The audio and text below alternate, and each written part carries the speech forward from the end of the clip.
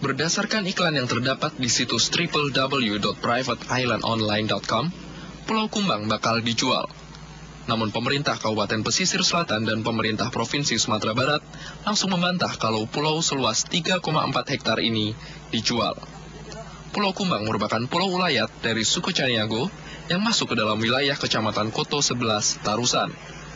Pada 2012, tanah seluas 400 meter persegi dari pulau ini dimiliki oleh seorang warga Bali bernama Ketut Wirdayasa yang dibeli dari Sultan Amri Wahid mewakili suku Caniago Tarusan.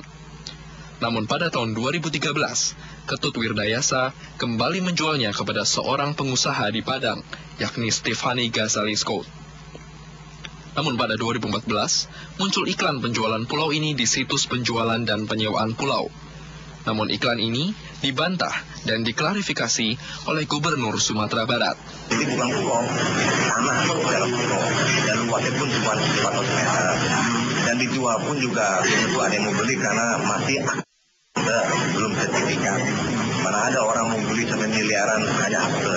Dan ini pun juga harus melalui dari bupati dan bupati menegaskan pun tidak akan menjual ke asing dan tidak boleh juga. Jadi mudah-mudahan persoalan ini tidak tidak menjadi masalah buat kita karena ini masih dalam bentuk rencana dan website itu pun juga ketika ditelusuri tidak jelas juga kepada siapa diundang. Dan Irwan menambahkan, iklan penjualan Pulau Kumbang di situs www.privateislandonline.com juga tidak jelas. Siapa yang memposting iklan dan kepada siapa iklan ditujukan. Namun yang jelas menurut gubernur, tidak semudah itu untuk menjual pulau-pulau yang ada di Indonesia, terutama dijual ke pihak asing.